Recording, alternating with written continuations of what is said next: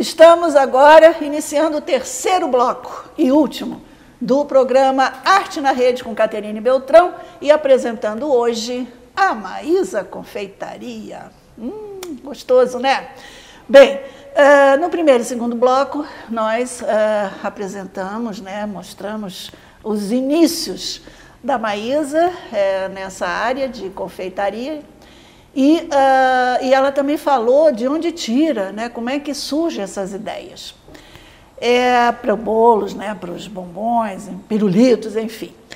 E uh, já que estamos pertíssimo da Páscoa, é, eu gostaria de focar né, essas é, criações que ela faz é, com esse tema. Né? Então, uh, Maísa, me fala um pouco é, me diz quando é que começou, quando é que foi eh, a sua primeira criação com esse tema de Páscoa? Você lembra? Para minha filha. Também. Gente, que coisa, como é que os filhos, né, são assim, rumos para a gente, né? Com certeza, é, até aí a gente vê isso. É, foi para sua filha que você fez na Páscoa, em alguma uhum. época. E Fazia todos os anos. É, e, e foi, é, é, eram ovos. Né? Ovos. E agora, como é que está a situação é, das, das, suas ideias de diversidade que você apresenta para as pessoas que querem, enfim, comprar com você ou, ou ver com você produtos para Páscoa? O que, que você apresenta? Esse ano, por exemplo, como é que está?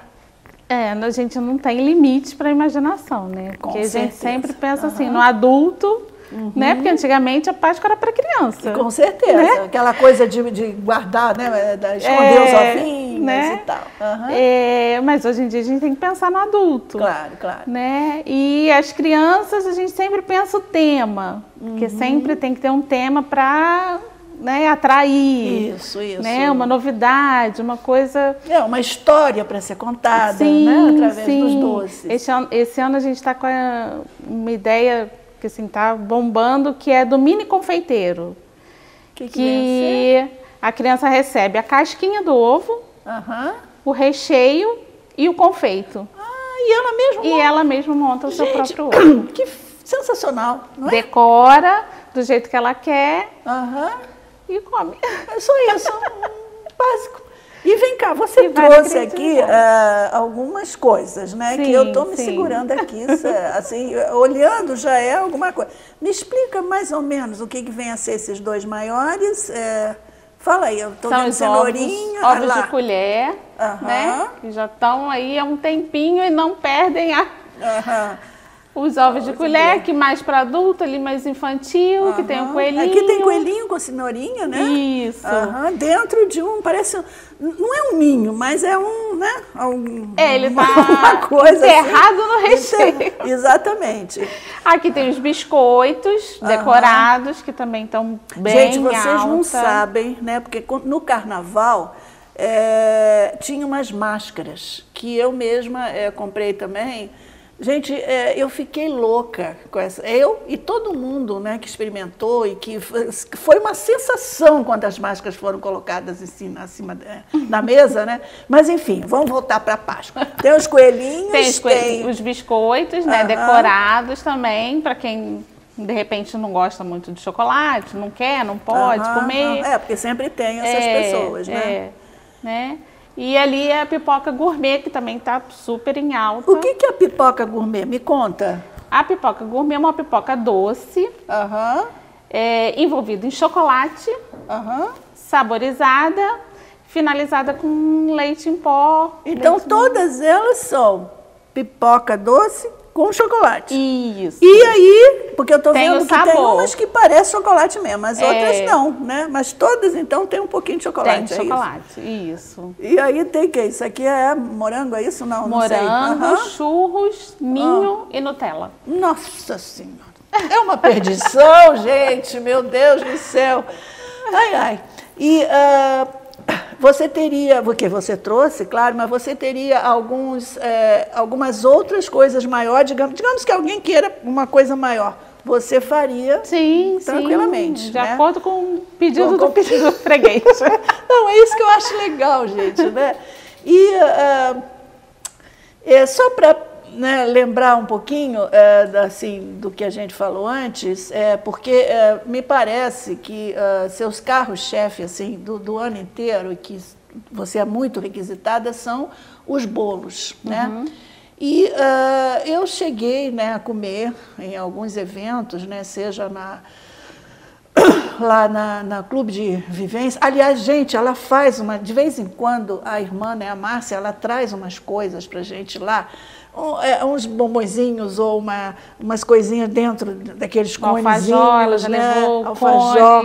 E nos eventos assim mais significativos, ou de fim de ano, ou de alguma palestra. Gente, quando eu dei uma palestra lá, aquele dia foi uma coisa, né? Porque você, você, você enfim, a Márcia trouxe um bolo lá é, confeccionado por você, né? E que foi assim um negócio, né? Porque tinha livros e tal, que tinha tudo a ver com o que acontece, né? Naquele momento. Uhum. É, você gosta de fazer bolo muito ou você gosta mais de fazer coisas menores? O que que você se sente mais assim à vontade? Eu gosto do que desafia. Aí você foi exatamente. Então, quanto mais inusitado, Sim. que pode ser coisa pequena ou coisa maior, uhum. você gosta disso. E não Sim. pelo fato de ser pequeno. Não, não. Ou né, maior. É o desafio que, que me move. que coisa boa. Eu acho isso. Aquele bolo da Márcia, ela falou: Maísa, eu preciso de um bolo que tenha avião, que tenha livro, que tenha não sei o que. Eu falei: ótimo.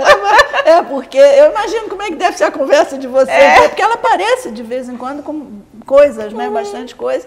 E aí a gente fica, assim, é, é sempre uma, uma admiração né, pela beleza que, que acontece né, quando a gente vê isso aparecer e depois aquela degustação Sim. oh, maravilhosa. E que bom essa parte. dupla, meu Deus do céu. Enfim. Bom, é, você quer falar mais alguma coisa, lembrar alguma coisa para o pessoal do programa? Não, já falou Páscoa muito. Páscoa está aí, gente. é, a Páscoa está aí, né? É, e é sempre uma data muito gostosa em se tratando de doces, né? Em se tratando de chocolate. Não interessa se é criança Sim. ou não. Né? Bom, Maísa, eu quero te agradecer muito né, pelo fato de você ter aceito o meu convite e de estar aqui é, compartilhando tudo isso que você tem feito e que você tem é, é aprendido e é, compartilhado, enfim, com a gente. É para isso, né, no final, eu sempre é, agradeço, assim, fisicamente, de uma forma, através de livro, que é o, o Arte na Rede do Virtual ao Real, que são os 17 primeiros anos do projeto, que começou em 2000. Tá? Então, vamos, aqui tem tudo, desde o início do projeto, com o site, depois o museu, o blog, enfim. Só não tem o programa que começou uh, o ano passado e os vídeos que também começaram o ano passado no canal. Né?